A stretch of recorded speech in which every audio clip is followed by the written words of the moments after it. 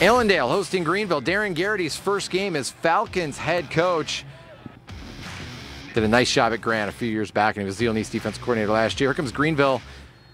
Isaac Daly making a dash for the end zone. Greenville, the first on the board. Year two with Tom Halleck at the helm. Allendale, Tyler Sparks, the quarterback, answering right back 80 yards. Look at him go as the Falcons pull even in front of the home folks. Then a little bit later, it'll be Landon Adams finding a gap, extending the Falcons' lead. Allendale proves to 1 0 with a 29 7 win over Greenville tonight.